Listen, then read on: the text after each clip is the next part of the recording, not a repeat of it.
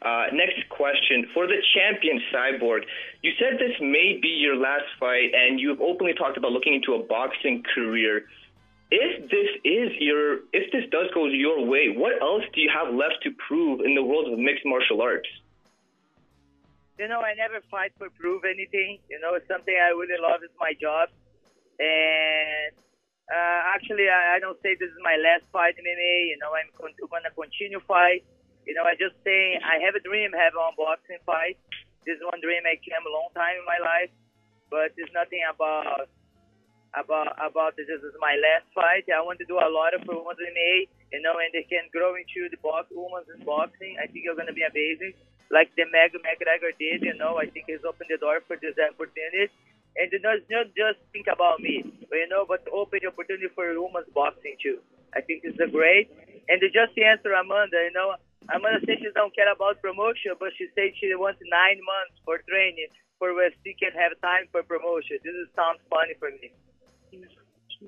this is the training, it's not about promotion. When you have time for training, you don't think about the promotion, about, Yeah, about you- training. But, but you not said, about be promoted. you said, uh, you know, Presty has time for promotion the fight nine months. They don't need anything in nine months. They don't need anything. But I, don't say the promotion to be about me. I say to promote about the fight, our fight, The fight. me and you. Exactly. You, you think they promote the fight nine months? You think they did? I'm, that is not my problem. You should talk to UFC about that. You know what I mean? That is not my problem. They offer me the fight.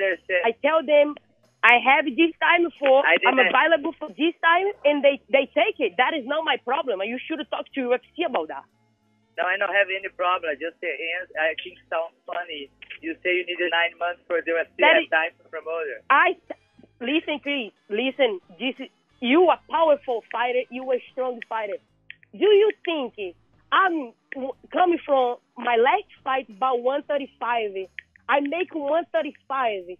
Do you think I'm gonna step up to fight you if I'm not 100 percent? Let's be honest. No, I want Let's to be, be honest 100%. right here. I want, I I want you give to be you, 100% I give you, you to have I say like listen then, I say like listen then like I'm not available to fight right now. I just come, I just make 135.